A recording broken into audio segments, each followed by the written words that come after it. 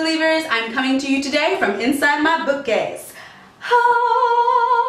So, first of all, I am in such a good mood because I just finished rewriting rewriting, yeah, editing, rewriting uh, book three of uh, my Water Rushes saga. It's coming out this summer and honestly, because when you write, you're supposed to write and then you know you leave it for a little bit and then you go back and read it with fresh eyes. So I've just read it with fresh eyes and oh my goodness! So if you haven't read the first two books, go and read the first two books and if you have read the first two books, like guys, it's getting so good. I am so excited for you guys to read this.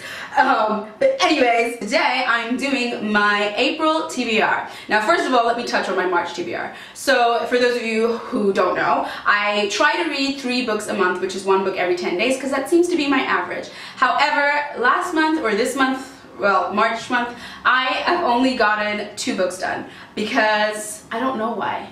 I think, I'm, see, I'm gonna blame the move. I'm gonna blame the fact that I moved house and I was doing a lot of extra stuff that I wouldn't normally have been doing and I, when I would have been reading. So I'm gonna blame the move, but I didn't get to my Percy Jackson book. So I'm hoping to get to that in another month, but I don't want to change my April TBR because I'm so excited to read the books that I have planned for April. So let me now tell you what those three books are. So I'm gonna give you clues. So one of the books I'm gonna read, the clues are Darrow, Sevro, Howlers, The Red Will Rise. That's about it, and it's a trilogy. Can you guess what book I'm going to read in April?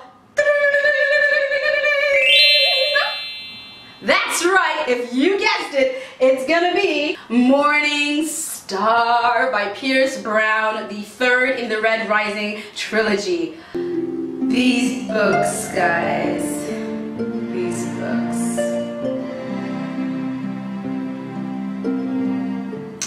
This off. So I read Red Rising like the last year sometime and I read Golden Son earlier this year. Like I read that like maybe four months ago and then I read Go um, Golden Son like two months ago, month before last in January.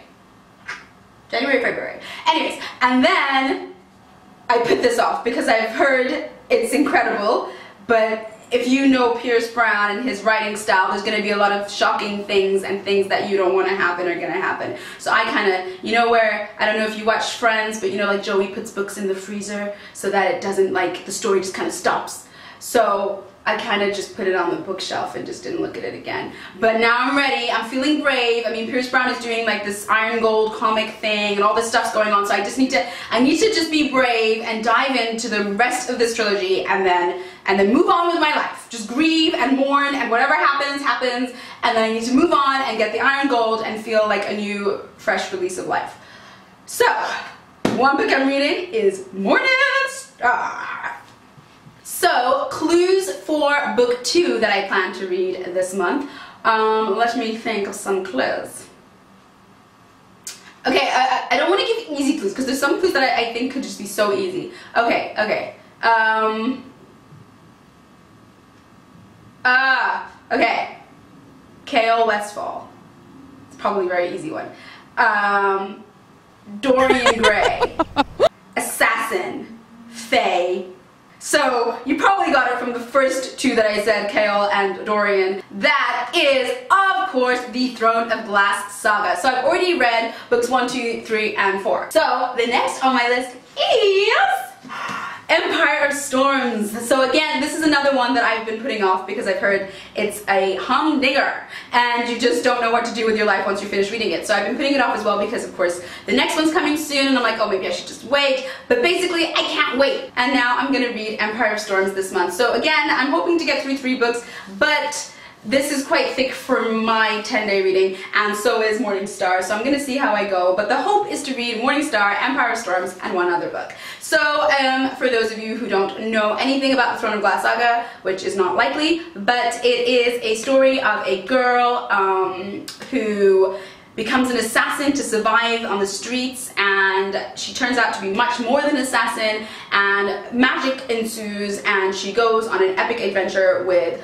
um, some awesome, awesome people and then stuff happens and dragons get involved and um, yeah, I don't even know how to sum this up. But let's just say read Throne of Glass if you haven't already and then read all the other ones after it and get to Empire of Storms so we can read it together.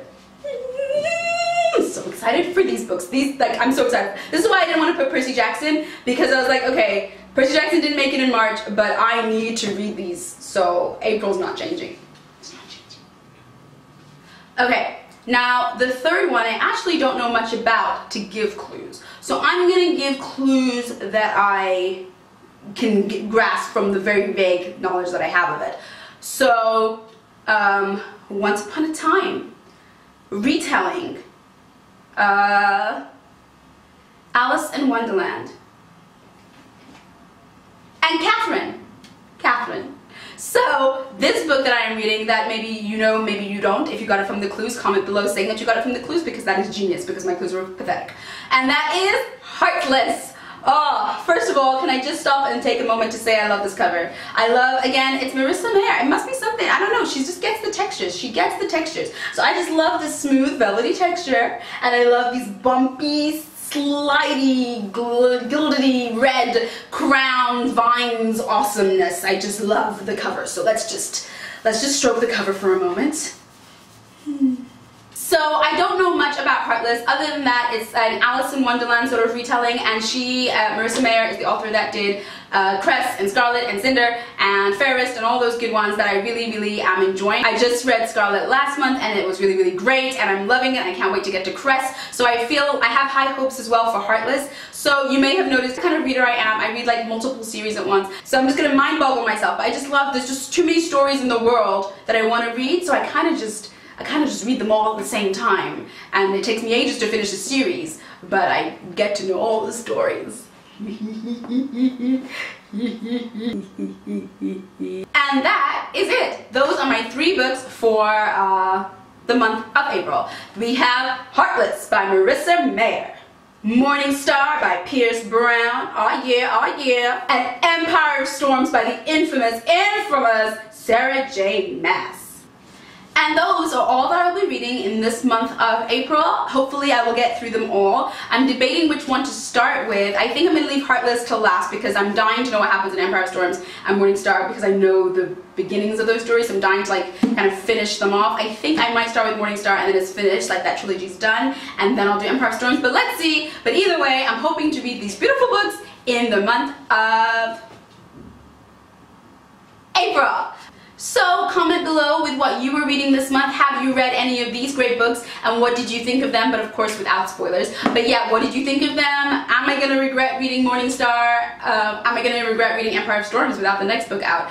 And until next time, I'll see you!